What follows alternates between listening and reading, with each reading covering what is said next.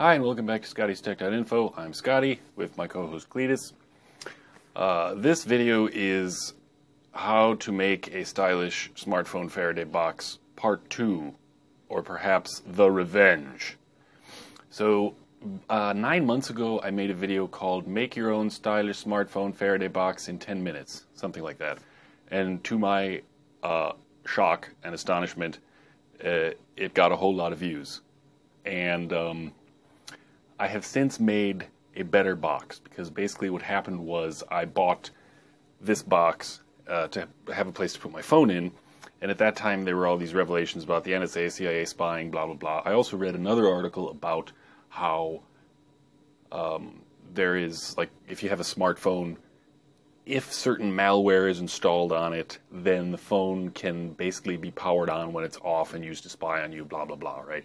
So after I got this box, I thought, well, you know, heck, I can turn it into a Faraday cage. How cool would that be? Because I'm a nerd, right? So I did. And uh, since then, like I said, the video has been surprisingly popular. And uh, a bunch of people have written and said, like, hey, it works perfectly, I love it. And a bunch of other people have said, no, it doesn't work at all, uh, you big fat loser. So it was actually a comment from uh, James R uh, one of the viewers he wrote and he said basically he he somehow he uses he has internet access via Wi-Fi and so he put his his phone I think he made like a bag with this aluminum HVAC foil and he put it inside and it didn't block the Wi-Fi at all. So uh, after a number of these comments, I kind of went back and, and retested my box, and I discovered, in fact, it has a few faults. Um, I have to admit that, like I said, I, I made the box and I, I didn't, uh, primarily I wanted to block signals from the cell phone network, which for my phone uh, in my area, when I have full signal strength, it does.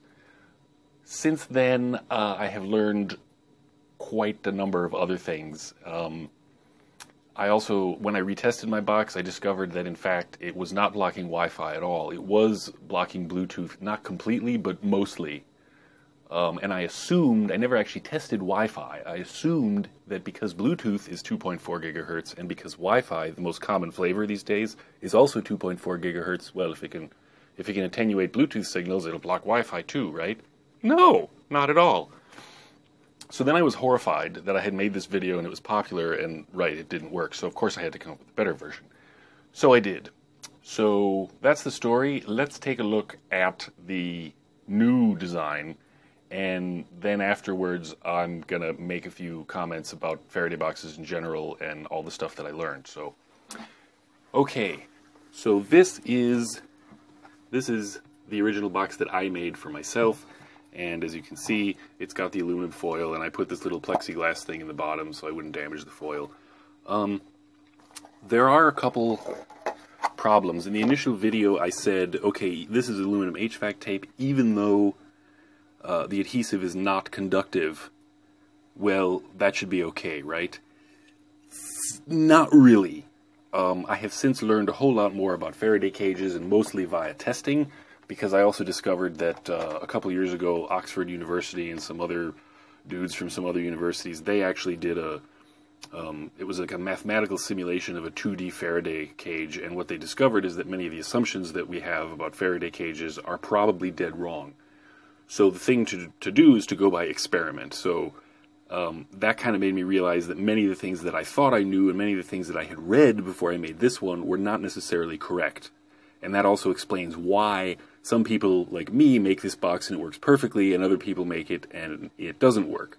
Uh, I've got my little meter here and I want to show you guys, gals and whatevers. Uh, so there's my, there's the meter and basically, if I do this, you get zero ohms, right? But if I do this, ah, same piece of tape, I'm an idiot. There you ah, Okay, so yeah, the you can see it's like kind of conductive, but kind of not, because I put multiple strips on here. Um, the new box that I made is pretty much exactly the same thing but it uses copper tape. And the reason for that is if we do the same test on the same piece of tape, we have continuity, zero ohms, and you can put it like a probe over here, and a probe down here, and oh look, zero ohms, no matter what. Um, this is actually one of the things that uh, I discovered is that it actually helps a lot if the Faraday cage or box is one continuous piece of conductive metal. So anytime you have breaks in it, you're going to have possible signal leakage, and that's kind of bad. So what I did is um, I went on, uh, actually I got it from Amazon. You can buy it anywhere. You can buy it from uh, this copper tape.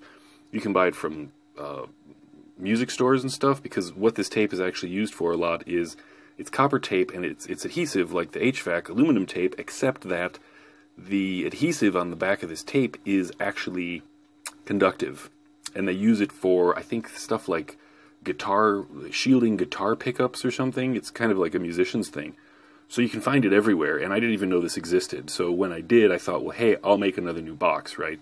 And as you can see, I did the same thing with the overlapping, and then in the, it's, it's overlapping, and that's awesome, right? Well, not really, because when you close this box, when you close the box, the front edge here, the copper makes contact, but on the sides and the back, there's a tiny, tiny gap between the copper tape, which means effectively this part is, is connected. That's great. But anywhere you have any kind of gap along here, and the gap can be extremely, extremely small, down to like a tenth of a wavelength, which at like 2.4 gigahertz is something like, uh, I forget, I did the calculations before, but it's like possibly is like, like a few millimeters width. If, if basically like this edge here is not completely sealed against this copper edge, if there's any gap in the contact between these two pieces of copper on this part and this part, uh, signal can leak out. And of course, it's not going to attenuate the signal, and your Faraday box is not going to work as well. That is why sometimes when you buy Faraday bags, they come with it's like a bag, and then it comes with like a seal. Some of them have like magical patented seals, and other ones actually, it's a bag and it's kind of like a Ziploc seal, and they give you this plastic clip that you slide over it. And the, the purpose of that is basically to squish the two conductive innards of the bag together and make sure that you have one continuous solid piece of metal and that way it works better and blocks signals more effectively. Okay, so um, so what I did is I tested this box and what I discovered was that it was still not, it, it was totally blocking cell phone signals, that was okay, but it was not blocking Bluetooth and it was not blocking Wi-Fi. And the test that I did was I had my laptop set up and I had a, uh, or sorry, my smartphone set up for Bluetooth, and I have I have a wireless Bluetooth keyboard that folds in half. It's pretty cool. And I would just start typing in like a notepad application. I'd put it inside the box, close the lid, and I could still type. The Bluetooth, when it was sitting right next to the box, it was getting right through. Then I tested with Wi-Fi, and basically I tethered my laptop to my smartphone via Wi-Fi, and then I basically used the smartphone as my internet connection, kind of as my internet modem and of course, so the smartphone is connected to both the 4G cell network and via Wi-Fi to my laptop. And what I discovered is that the Wi-Fi was also getting through. So what I did is I added this guy. And what this is, let me get it out of here carefully and show you what it is. That's why the, the top lid here is actually already done. That's what I that's what I did for the first part of the test. I thought, well, I'll just switch to the copper tape, it'll work, right? No. So what I did is I realized that because of this poor seal around the edges, if you have any gaps, very bad.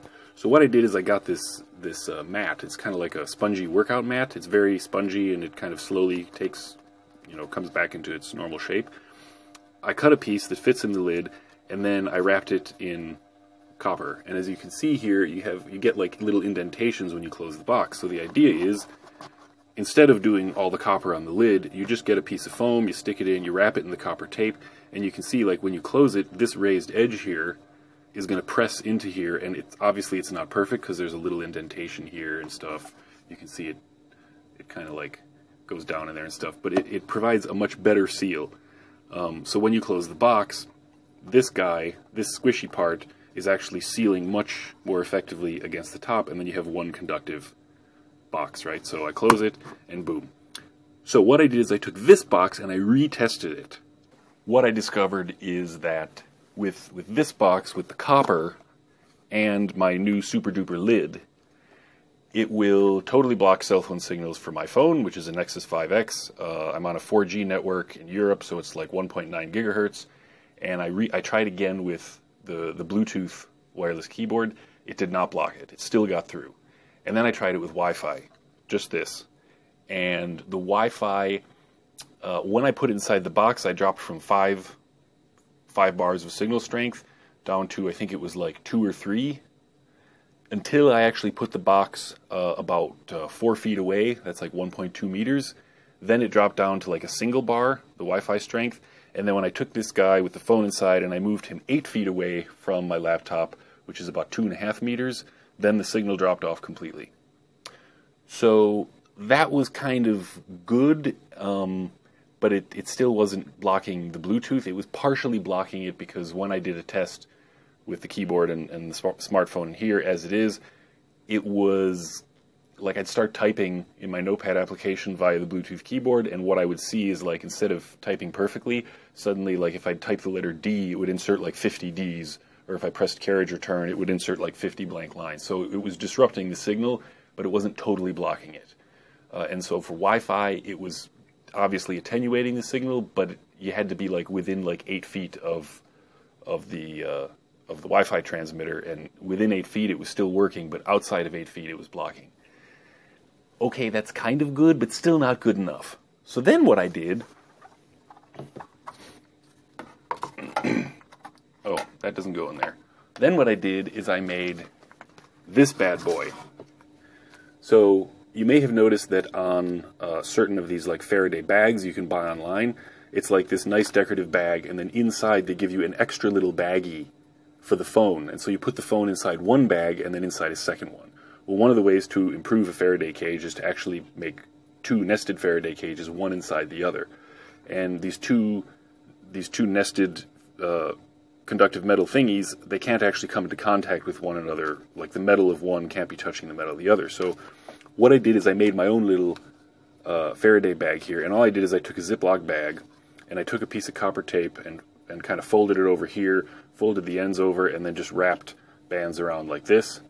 And then in order to give it some added strength and to prevent the, the metal of this bag from touching the metal of my box, I wrapped all of this in packing tape. So it's basically Ziploc bag, copper, and then all wrapped in clear packing tape. So now when I take this and I stick my phone inside, fold it over, and put it inside my bag, because this is wrapped in packing tape over the copper, it doesn't make contact with this. So I put the phone inside the bag, then I close it. I've got a double Faraday cage, and then we're totally golden. It blocks cell phone network signals, Bluetooth totally doesn't work, uh, Wi-Fi 2.4 gigahertz sitting literally right next to the laptop with the Wi-Fi transmitter inside, literally like zero meters away, no signal at all, totally blocks everything. Okay, so if you build one of those, it's totally going to work. Um, few little things. The if you if you already made one with the aluminum tape, you can just layer the copper tape over it, and you only have to do the bottom. You don't have to do the lid because preferably for the lid, you would do this spongy foam thing instead, so that when it when it closes, this lid is going to push your seal on there, and you're going to get a really good electrical seal around there, and it's going to work better. And then if you care about totally blocking Wi-Fi and Bluetooth, then make your own. Just grab a Ziploc bag and you buy the tape anyway. You got some packing tape lying around. Make one of these little bad boys. Put the phone in, put it all in there, close it, and this guy is going to totally rock. Guaranteed. The uh, when I was kind of re-researching Faraday boxes, in addition to discovering what I mentioned earlier about um, this this study that was done with Oxford and somebody, this computer simulation that they did.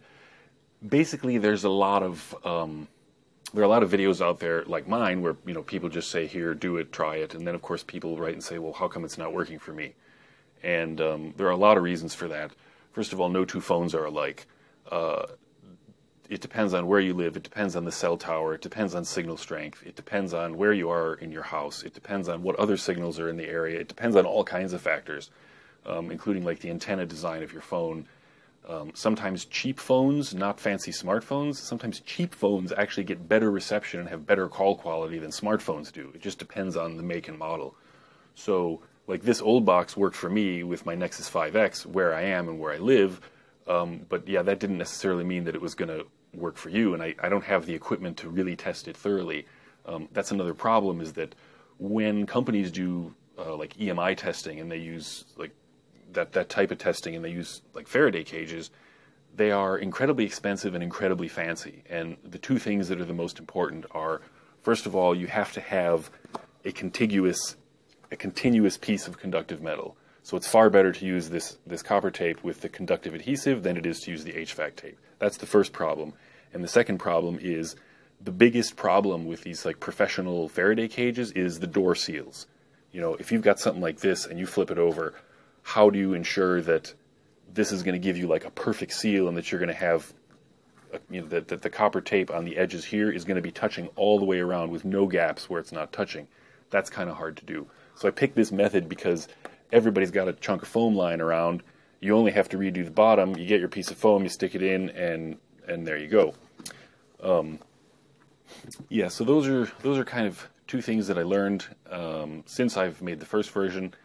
Um, like I say, I'm I'm I can't. That's my smartphone. That's that's the, the, camera that I use. And like people were writing and saying like, oh, how come you don't like test it? Like use a landline, blah blah blah. Because like I don't have a landline close to where I film videos, and that's my smartphone. And then if I you know have to like borrow a friend's phone and blah blah blah and set all this crap up, and um, yeah, I could do that. But I did all that testing on my own. So instead of making you sit through it, I'm basically telling you what I did. Um, and even then, kind of the point there is that because it works perfectly for me doesn't mean it's going to work perfectly for you and that's one of the problems with faraday cages. It's like it's a science in and of itself. Like it gets really really complicated. So you're going to have to actually make one and test it uh, like james r did and then say hey crap it's not working. What's what's going on? And then you know you kind of play with it and hopefully get it working. But um, so yeah, that's the that is a stylish smartphone Faraday box Mark II. Hopefully there won't need to be a Mark III. so uh, for more techie tips, see scottiestech.info. Thanks for watching. See you next time.